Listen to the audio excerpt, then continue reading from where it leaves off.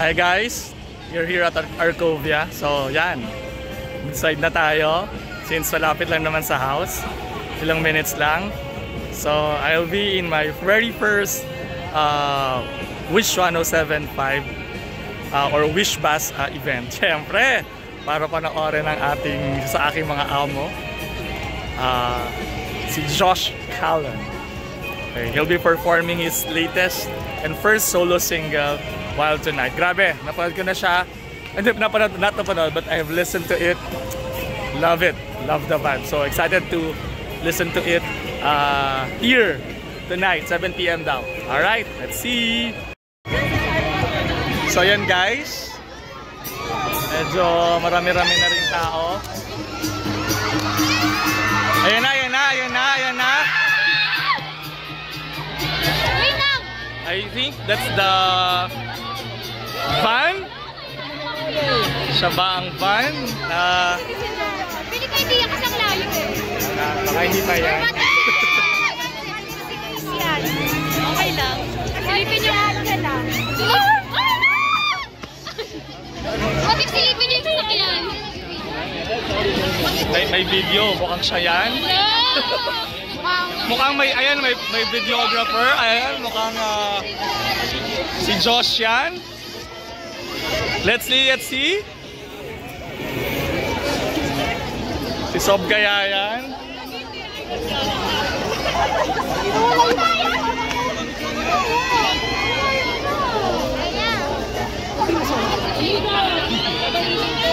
Okay, lumalapit sa bus.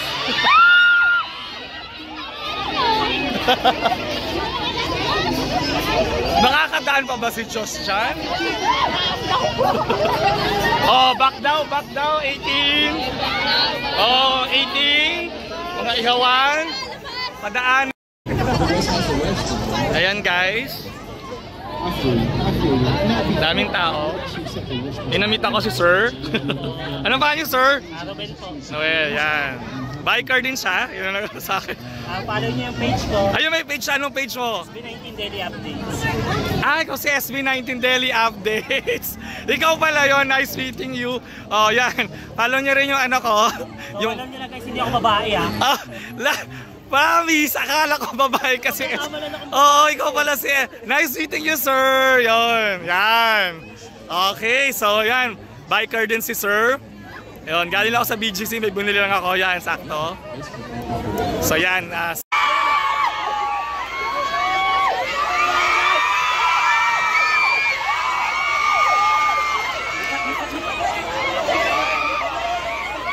exactly what I find it exciting. Uh, I get to explore and you know um, I get to explore my own creativity and vision. Got you crystal clear. Marami nagtatanong, ano nga ba yung significant difference ng SB19 Josh sa quote-unquote Josh Cullen? Um.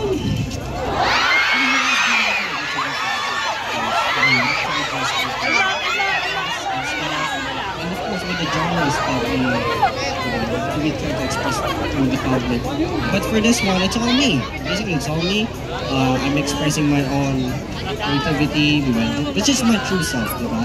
Um, these are the experiences that I've had, whether good or bad. So I'm just reflecting it to my to creating my own music, uh, and yeah, just creating meaningful music. Solid stuff. And I'm sure marami rin gusto makaalam, no? Uh, nag-zero in to your artistic integrity as a solo artist.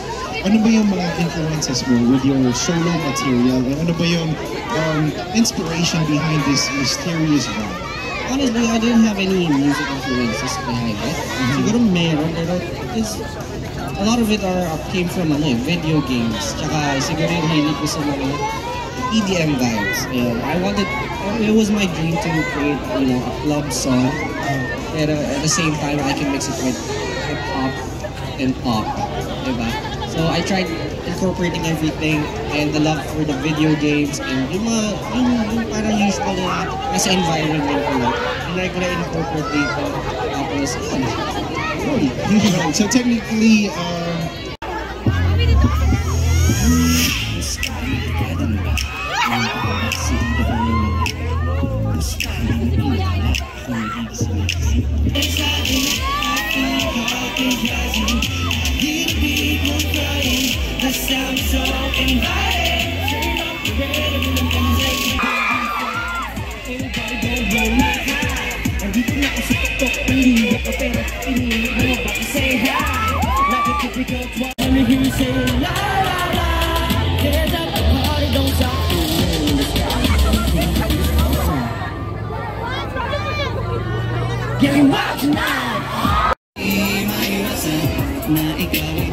Guys, okay, so that's the uh, my first ever wish bus experience. And grabe, syempre, sobrang saya lang kasi it's uh, may amo.